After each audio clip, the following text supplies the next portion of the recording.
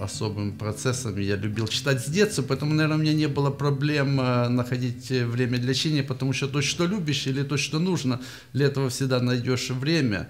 Но, тем не менее, в чтении, в изучении очень важна дисциплина, и студент должен понимать, что те учебники, те предметы, те книги, которые ему даны для чтения, они имеют определенный смысл, и когда преподаватель задает, он э, желает, чтобы студент что-то получил из прочитанного материала, я бы сказал так, что чтение это не просто лишь повторение каждого слова, записанного в учебнике, это извлечение материала, записанного в этой книге.